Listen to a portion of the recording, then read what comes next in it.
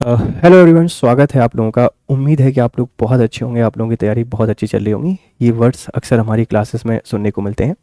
पर आज ये जो सेशन है एक इन्फॉर्मेटिव सेशन है एक करियर गाइडेंस का सेशन है। बहुत सारे बच्चे जो अपने करियर को जब डिज़ाइन करने की कोशिश करते हैं तो सोचते हैं कि क्या करना चाहिए। बहुत सारी सर्विसेज़ हैं बहुत सारी सेवाएँ होती हैं जिन्हें आप लोग all India services central services और स्टेट सर्विसेज़ के नाम से जानते हैं।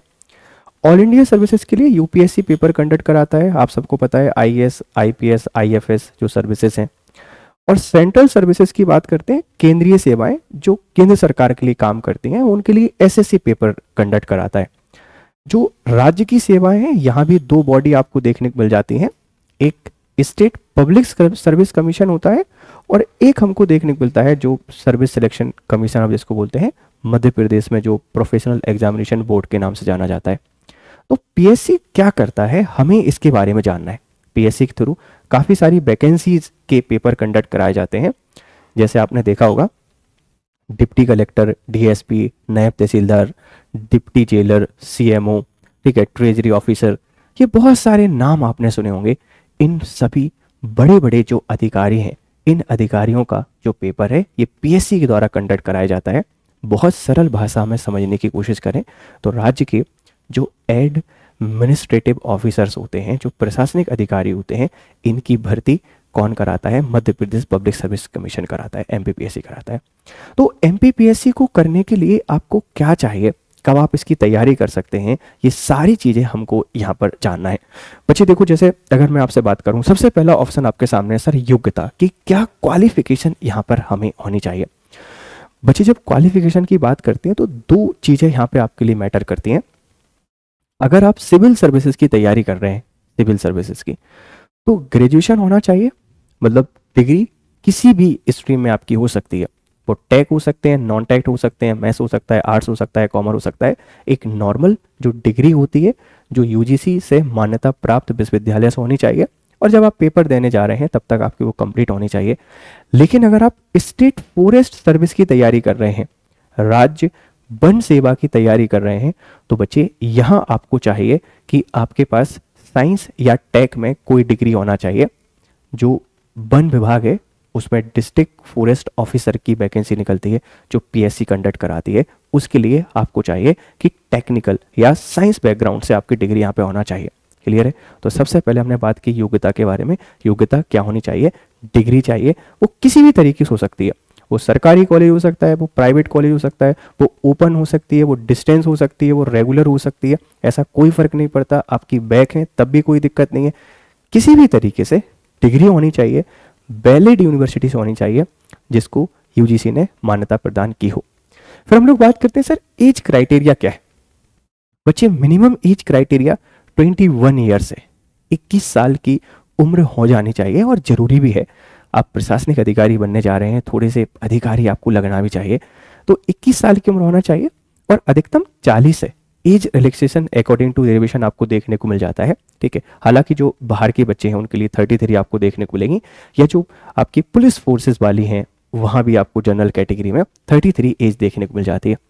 तो हम ऐसे मान लेते हैं कि जो मिनिमम एज है, वो ट्वेंटी वन ईयर्स है और जो मैक्सिमम एज है, हम उसको फोर्टी ईयर्स मान के चलते हैं। दो एज क्राइटेरिया है। हाँ एज के साथ एक दिक्कत ये है कि आपकी एज फॉर्म डलने तक 21 ईयर कंप्लीट हो जानी चाहिए। तो वो सारे बच्चे जो एज को लेकर परेशान होते हैं, आपको परेशान नहीं होना है। 21 साल जब आपकी कंप्लीट होगी, तभी आप एलिजिबल होगे। पेपर दे भी दोगे, फर्जीवाड़ा करके तो ज्वाइनिंग में आपको बाहर कर दिया जाएगा, आपको वैलिड नहीं माना जाएगा। क्लियर है? और आरक्षण के हिसाब से एज रिलैक्सेशन आपको मिल ही जाता है। जैसे आप एक्स सर्विसमैन है या आप एससी से आते हैं एसटी से आते हैं, वो पाँच पाँच साल का डिफरेंस आपको सब में देखने को मिल जाता है। ठीक है? आरक्षण की बात हमने यहाँ पे कर दी है कि सबको एक जो उनकी जनसंख्या है, उसके हिसाब से आरक्षण आपको देखने को मिल रहा है। जो भी दिया गया है, दस परसेंट, तेरह परसेंट, ठीक है, या आठ परसेंट। और विमेन का आपको पता है कि जो तैतीस प्रतिशत है, एक होता है वर्टिकल एक होता है हॉरिजॉन्टल तो विमेन्स को हॉरिजॉन्टल रिजर्वेशन मिला हुआ है। बाकी सबको वर्टिकल मिला हुआ है। तो 33 परसेंट का मतलब है कि उस कैटेगरी की 33 परसेंट सीटें महिलाओं के लिए यहाँ पे क्या रहेंगी? आरक्षित रहेंगी। इस बात का ध्यान रखना। फिर हम लोग बात करते हैं एग्ज़ाम पैटर्न के बारे में। सर एग्ज़ाम पैटर्न क्या है? बच्चे एग्ज़ाम पैटर्न तीन स्टेजेस में यहाँ पे होता है। चार स्टेज भी आप लोग यहाँ पे मान सकते हैं। सबसे पहला होता है प्रीलिमिनरी एग्जामिनेशन जिसे आप लोग प्री परीक्षा के नाम से जानते हैं या प्रारंभिक परीक्षा के नाम से जानते हैं। इसमें हमें दो पेपर देखने को मिलते हैं। एक जी एस वन देखने को मिलेगा, एक जी एस टू देखने को मिलेगा। जो जी एस वन है, इस जी एस वन में जनरल स्टडीज़ वन में जी के और जी एस आता है, जिसमें history geography polity economy science information technology current affairs M के इन सबको मिला के सौ प्रश्न आपको देखने को मिलते हैं और हर प्रश्न के दो नंबर आपको मिलते हैं मतलब 200 नंबर का पेपर होता है और ये आपका मार्किंग वाला पेपर है। कि इसमें जितने ज़्यादा आपके नंबर आएँगे, वहीं से आपका कट ऑफ़ डिसाइड होगा सिविल सर्विसेज़ के लिए। तो पहला पेपर जीएस का है, जिसमें आपको ये सारे सब्जेक्ट देखने को मिलते हैं। दूसरा पेपर जैसे आप लोग जनरल स्टडीज़ सेकेंड के नाम से जानते हैं कॉमनली सी सेट या एप्टीट्यूड टेस्ट के नाम से जाना जाता है, जिसमें मैथ्स लॉजिकल रीजनिंग और लैंग्वेज आपको देखने को मिलती है। इसमें भी सौ सवाल होते हैं। दो नंबर यहाँ पे भी मिले हुए हैं। जो सिविल सर्विसेज़ वाले बच्चे हैं, इनके लिए क्वालिफाइंग है।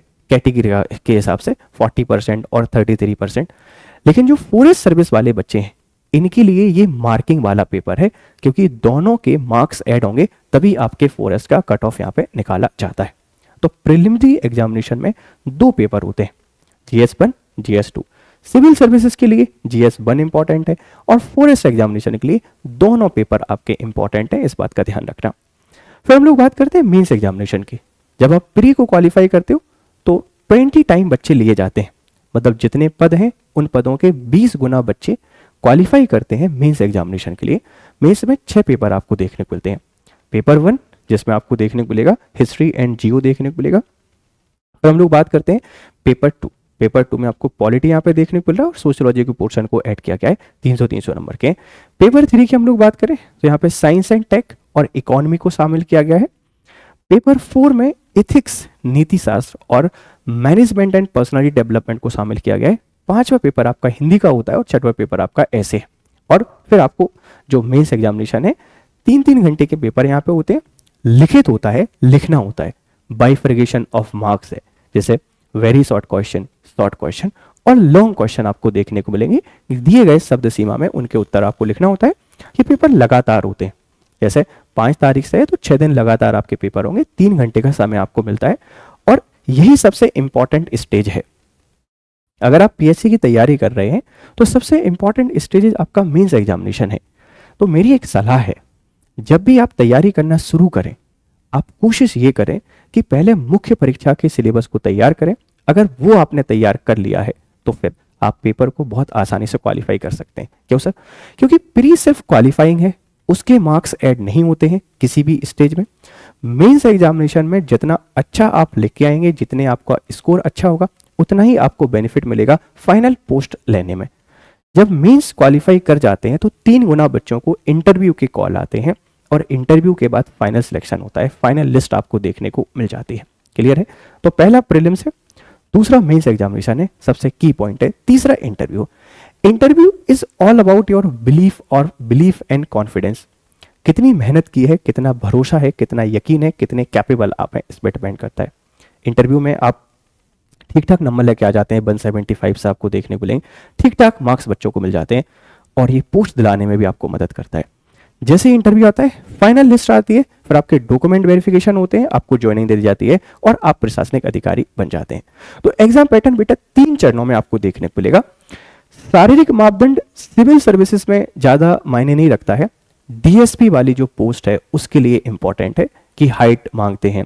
एक अट्ठावन के आसपास आपकी होनी चाहिए। और सेम कहानी डीएसपी के लिए फ़िज़िकल होता है, पैदल चाल आपको चलना होता है और हाइट यहाँ भी आपकी मेजर की जाती है। ठीक है? कट ऑफ़ तो बच्चे कट ऑफ़ पेपर के पहले नहीं बता सकते कि कितना जाता है, पर एवरेज अभी जो जा रहा है, हम उसकी बात कर सकते हैं। पिछले दो तीन सालों से 75 के ऊपर ही जा रहा है 80 के आसपास कट ऑफ़ जा रहा है। तो बहुत मेहनत आपको यहाँ पे करनी पड़ेगी। तो ये एक ब्रीफ इंफॉर्मेशन है कि आप ट्वेल्थ के बाद क्या कर सकते हैं। एक और बात ध्यान रखिए। आजकल बहुत सारे बच्चे क्या है कि दसवीं ग्यारहवीं से तैयारी करना शुरू कर दिया है। ऐसा नहीं करना चाहिए। कॉलेज में एडमिशन लीजिए। कॉलेज के साथ साथ आप पीएससी की तैयारी कीजिए। दो साल, तीन साल में अपना सिलेबस तैयार कीजिए। अपने आप को मेंटली प्रिपेयर कीजिए और एक अच्छे प्रशासनिक अधिकारी बन के अपने जीवन को आसान कीजिए। तो एमपीपीएससी से संबंधित लगभग सभी जानकारी हमने आपके यहाँ पे देने का प्रयास किया है। इन सभी पर एक डिटेल वीडियो धीरे धीरे करके हम आपको प्रोवाइड कराते रहेंगे। आई होप कि आपको ये जो जानकारी है, ये बहुत यूजफुल रही होगी। और राज्य सेवा की जब आप तैयारी करेंगे तो ये वीडियो आपको बहुत हेल्पफुल रहेगी, ये आपका मार्गदर्शन करने वाली होगी। ठीक है? थोड़ी बहुत इन्फॉर्मेशन इधर उधर हो जाती है। प्लीज़ उसको लेकर आप लोग परेशान हो होइएगा। हम आपसे लगातार मिलते रहेंगे। खुश रहिए, मस्त रहिए और बेहतर तरीके से पढ़ाई कीजिए। Have a nice time